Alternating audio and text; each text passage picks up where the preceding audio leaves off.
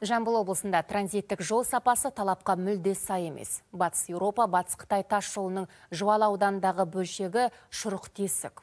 Халықаралық трасса жарты ғасырдан бері жөндеу көрмеген еді. Жыл басында шатқалдағы жалғы жолға қаржы бөлініп, құрылыс басталған.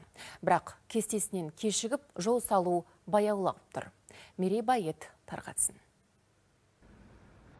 Ресей қырғызстан және қытайдан шыққан жүк көліктерінің барлығы ескі күйік асуымен өтеді. Себебі жаңа жол өр басында салынғандықтан жүк көліктері үшін аса қауіпті. Ал шатқалдағы 12 шақырымдық бұл даңғыл 1970 жылдары салынған. Содан бері күрделі жөндеу көрмеген. Салдарынан тас жолдың тоз тозы шыққан. Бұл жер жол аябай жаман машиналар көп бұзылады дтп да көп болады ал жерде.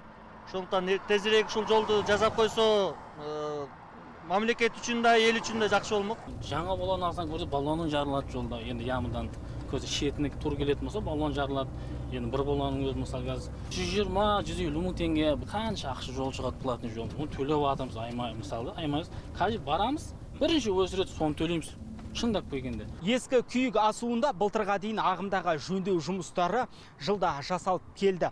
Бірақ тәулігіне күре жолмен 35 мың көлік жүргендіктен жылға жетпей бәз баяғы жағдайына түсіп отыратыны. Сондықтан қазавтожол мекемесі былтыр желтоқсанда жолды жаңғырту керек жөндеу керек деп жоба жасаған еді. Бірақ содан бері бір жыл өтсе де өзгерген дәнеңе жоқ. Жобаға республикалық бюджеттен жеті жарым миллиард теңге бөлінетін болды. Мердігерде анықталды. Бастапқыда тендерді ұтқан компания нысан басына жылжымалы асфальт зауытына апарып жол жөндеу жұмыстарына кіріскен. Бірақ кейін техникасы мен жұмысшылар жетіспей жол құрылысы тұралады. Салдарынан биылдыққа бөлінген бір жарым миллиард теңгенің 304 миллионы ғана игерілген. Келісім шартқа сәйкес айыппұл салынып жатыр отыз алты миллионға көлем көлемінде сотқа беріп бердік.